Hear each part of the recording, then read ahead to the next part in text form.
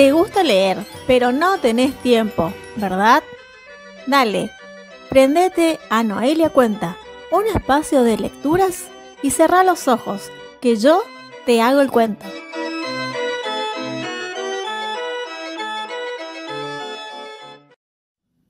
En el Noelia Cuenta de hoy compartiremos El trato de Noelia Natalia Barchuk. La de ellos fue una de esas raras historias de amor, básicamente por la diferencia de edad y por otras cosas también. Se llevaban de distancia una docena de años, según ella, tres mundiales de fútbol, según él. Lo cierto es que ella venía de remar una vida complicada, fracasos amorosos a la orden del día. Ella estaba de vuelta, se hallaba desandando el camino, como quien dice. Él, en cambio, comenzándolo. Graduado en tiempo y forma en una profesión que no le marcaba el norte, sentía la obligación de hacer en breve mucho dinero, de volver en tiempo y forma al sacrificio de sus padres un mejor pasar. Entre las otras cosas por las cuales su amor fue diferente está la mayúscula atracción que sintieron al conocerse. Se conectaron en cinco minutos y esos cinco minutos fueron multiplicándose sucesivamente. Pero sabían de antemano que el infinito era demasiado para ellos o para cualquiera no desconocían que el tiempo les pasaría por encima como una mortal aplanadora. Por ello, cierta vez a uno de los dos se le ocurrió hacer un trato, un trato especial, que debería respetar a raja tabla, en caso, obviamente, de permanecer juntos hasta que el calendario anunciase cumplido el plazo. Sí, un periodo determinado que creían conveniente para amarse, porque después faltaba poco para que la fecha llegara. No hablaban del tema. Seguro lo pensaban mil veces al día. Sin embargo, vestían el uniforme de la algarabía popular por el nuevo mundial. Otra vez los papelitos, la pintura en los rostros, los bonetes, todo el merchandising disponible para el festejo la camiseta celeste y blanca sacada a relucir sobre cada alma argentina. Nuevamente el antiquísimo debate del amor a la bandera en la contienda deportiva y el exiguo interés para las fechas patrias. Todo seguía igual pese a, a las novedosísimas tecnologías de punta. ¡Che! El cantito, vamos, vamos, Argentina, perduraba siendo el año 2030.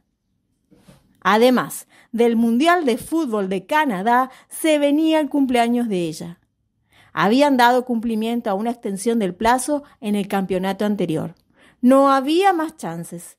Ella no podía seguir con él ya entrada en su cincuentena. Había que guardar acaso un poco de decoro, de dignidad de envejecer sin la lástima de su compañero. Él aún tenía virgen la segunda parte de su vida. Era bastante coherente él no tenía por qué cargar anticipadamente con una mujer posmenopáusica. Así, entre risas, entre lágrimas, festejaron íntimamente el cumpleaños y la monumental apertura del campeonato. Las palabras, los besos y caricias de despedida quedaron secretamente guardados en los dos amantes. La vida sigue, repetía cada uno al no verse. Te libraste del pendejo, decían las amigas de ella. Te sofaste de la vieja, decían los amigos de él. El mundial había cumplido su ciclo. No habíamos ganado tampoco ese.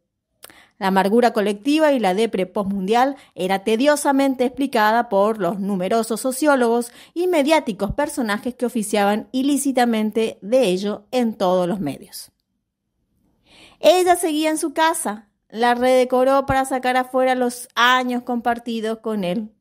Ahora tan solo recuerdos. Concurría religiosamente a sus clases de gimnasio. Se mantenía bien físicamente. Le preocupaba mucho más el deterioro interno. No quería convertirse en una anciana intolerable. Por eso lo apartó de su vida. A veces hay más amor en un no que en un sí, pensó. Viejos amores se hicieron presentes. El pasado reclamaba que volviesen a su entierro. No había futuro para ellos. En cuanto a él, se cambió a un departamento hipercéntrico. Quería sentir y acuñar en el cuerpo de otra mujer esta nueva juventud. No tardó en hacerse de consejos y salir a comerse el mundo. Volvió indigestado. Siempre se lo veía bien acompañado en los sitios más concurridos de la ciudad. El tiempo no para. Faltaba poco para que llegaran las fiestas. Ella lo extrañaba a mares. Sufría como una quinceañera que pierda su primer amor. Nadie nunca supo como él entender su miedo a las tormentas, su fascinación de coleccionar lápices, limpiar sus botas con barro, mitigar el dolor de la ausencia de hijos. Por fin la palabra mágica, clave. Eran los hijos que ella no podía darle y tampoco podía negárselos. Él le extrañaba océanos. Echaba de menos aquella voz que desafinaba en la ducha cantando canciones de Luis Miguel. Había descubierto que las mujeres de su edad eran más serias que ella. Ninguna se reía de sus chistes. En vano buscaba debajo de la almohada o en sus bolsillos alguna tonta nota de amor como ella le dejaba mucho menos no hubo quien prestara interés por quitarle el mal hábito de fumar, tirando los puchos del atado y depositando en su lugar pastillas de menta. Tampoco quería volver a pasar por los trastornos de los cuarenta. Para las féminas más jóvenes era categóricamente un viejo, más si preguntaba por la letra de alguna canción del astro mexicano. Decididamente no pudo dar con una que quisiera amar dentro y fuera de la cama.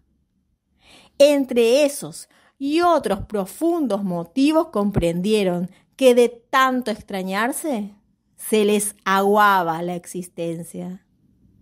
Ella, nacida en el mítico Mundial 78 de la doble cara argentina de amor y de espanto, él, nacido en el fallido Mundial de Italia 90, de la cara única de Maradona por TV, de amor y de espanto. Dejaron la niñería de estipularse tiempos y plazos para amar. Dejaron que el porvenir los encontrara juntos. Fútbol había para rato. Amor también.